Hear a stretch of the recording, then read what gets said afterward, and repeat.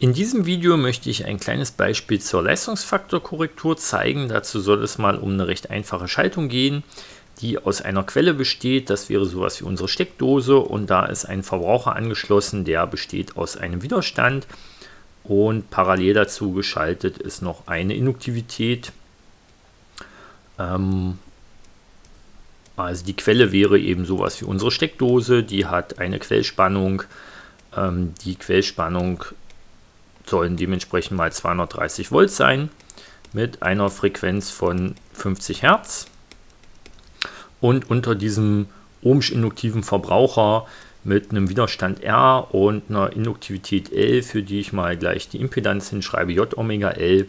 Äh, da könnte man sich sowas wie einen Motor drunter vorstellen. Ne? Der Motor hat eine Spule, die hat eine Induktivität und da gibt es auch irgendwie ohmsche Verluste drin.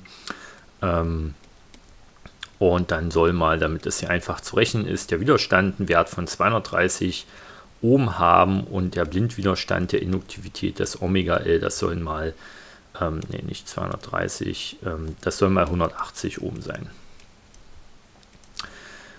So, und jetzt ähm, kann man sich schon so ein bisschen überlegen, was hier passiert. Also in diesem Widerstand wird Wirkleistung umgesetzt werden, in dieser Induktivität hier ähm, Blindleistung und das zeichne ich jetzt mal gleich in einem sogenannten Leistungsdreieck, was eben sehr schön ist, um sich das zu veranschaulichen. Ähm, und zwar eben in dem Widerstand hier gibt es die Wirkleistung. Die Wirkleistung ist sowas wie der Realteil von der komplexen Leistung. Deswegen male ich die mal in diese Richtung. Das ist die Wirkleistung P. Und dann gibt es in der Induktivität hier induktive Blindleistung, die ist sowas wie der Imaginärteil der komplexen Leistung und zwar positiv. Die zeigt hier nach oben, ähm, das ist das JL, das ist die Blindleistung, die positive Blindleistung in der Induktivität. Und beide zusammen ergeben jetzt in diesem Leistungsdreieck eben eine Scheinleistung S mit einem bestimmten Phasenwinkel ähm, oder eben einem Winkel in diesem gleichschenkligen, recht, äh, nee, nicht gleichschenklig, aber in diesem rechtwinkligen Dreieck ähm, zwischen der Blindleistung und der Wirkleistung und das ist auch gleichzeitig der Phasenwinkel zwischen der Gesamtspannung und, oder der Quellspannung und dem Gesamtstrom hier. Ähm, und der Kosinus von diesem Winkel, den nennt man Leistungsfaktor, der wäre jetzt hier eben relativ klein. Im Idealfall wäre der 1 und dieser Phasenwinkel hier wäre 0. Und genau darum soll es jetzt mal gehen, hier diesen ähm, Leistungsfaktor zu verbessern, zu korrigieren, größer zu machen, also den Leistungsfaktor, den Kosinus dieses Winkels größer und ähm, den eigentlichen Phasenwinkel kleiner. Und das kann man erreichen, indem man ähm, optional hier, und deswegen mache ich das mal gestrichelt, noch eine Kapazität, einen Kondensator parallel schaltet. Da schreibe ich auch mal die Impedanz hin, 1 durch J Omega C. Und an dieser Kapazität hier wird es jetzt auch Blindleistung geben, aber kapazitive Blindleistung, kapazitive Blindleistung C negativ, also zeigt die hier nach unten. Ähm, das ist das QC, so dass man mit der kapazitiven Blindleistung hier die induktive Blindleistung hier kompensieren kann, so dass sich dann eine neue Scheinleistung ergibt, die wie man sieht hier in diesem Dreieck, die ist auf jeden Fall schon mal kleiner vom Betrag her und dieser Winkel hier, Phi kompensiert, der ist auch kleiner, sodass der Cosinus von diesem Winkel, der Leistungsfaktor Cosinus Phi kompensiert, der ist jetzt größer ähm, und der soll mal 0,9 sein. Also nicht perfekt 1, weil dann wäre der Winkel ja 0, sondern halt 0,9.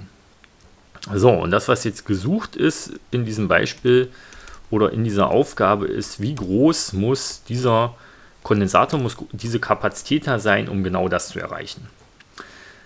So, und um das jetzt auszurechnen, ähm, rechnen wir jetzt vielleicht erstmal diese Wirkleistung hier aus, P, ähm, die hier in diesem Widerstand umgesetzt wird. Und die Wirkleistung, ähm, und in dieser Schaltung wird nur in diesem Widerstand Wirkleistung umgesetzt, hier gibt es ja nur induktive Blindleistung, hier gibt es nur kapazitive Blindleistung. So, die Wirkleistung, das muss man wissen, natürlich äh, ist allgemein so P ist U mal I.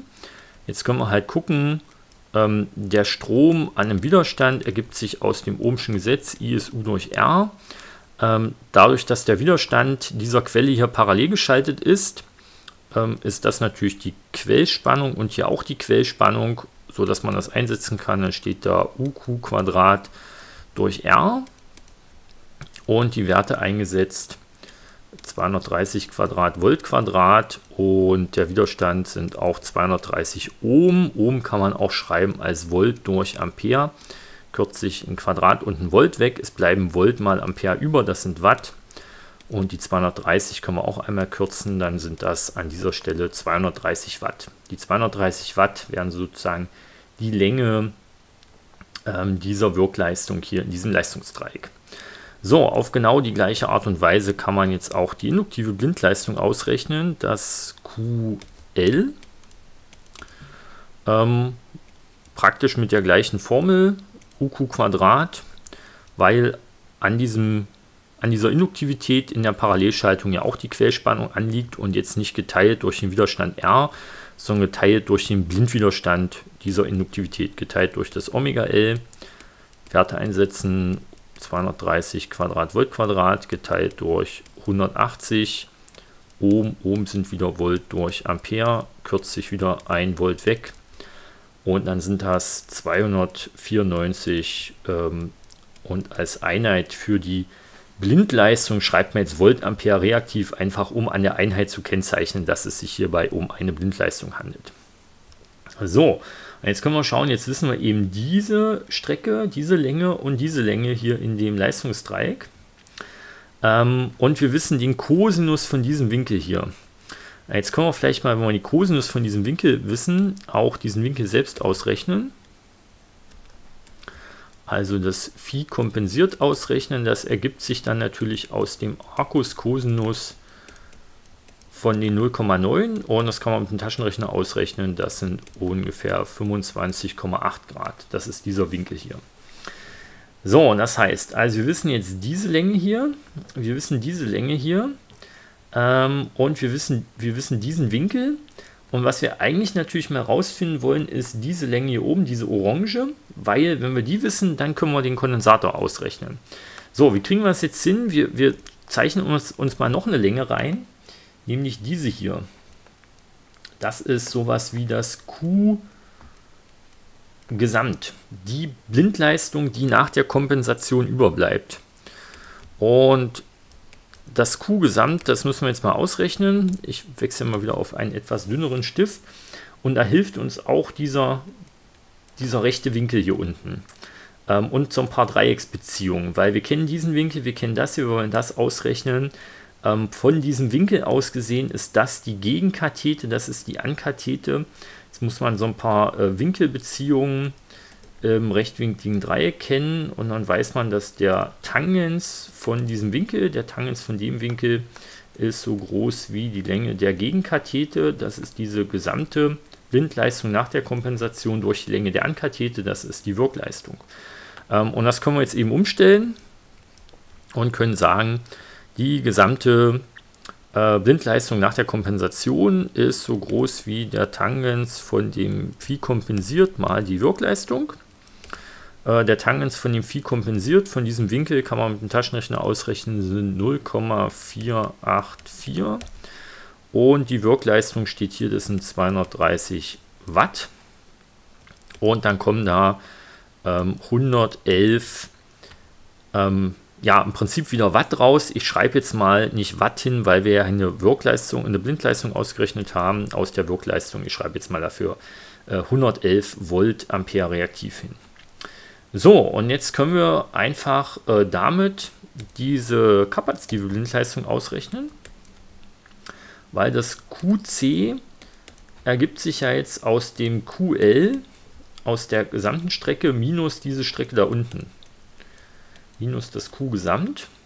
Und ich schreibe mal den Betrag hin, ähm, weil eigentlich ist ja diese kapazitive Blindleistung nachher negativ. Ähm, bei uns interessiert es eigentlich nur die Länge dieser Strecke hier.